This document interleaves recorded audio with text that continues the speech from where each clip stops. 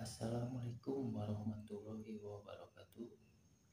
Kembali lagi di channel saya dan di kesempatan kali ini saya akan membuat tutorial kembali cara membuat tas wanita untuk pemula. Dan untuk videonya tonton sampai habis dan jangan di skip-skip biar tidak gagal paham. Dan jangan lupa juga untuk subscribe, like, share, and comment. Dan untuk pembuatan pola ada part 2 di video selanjutnya. Oke, kita langsung saja ke tutorialnya dan simak videonya. Cekidot.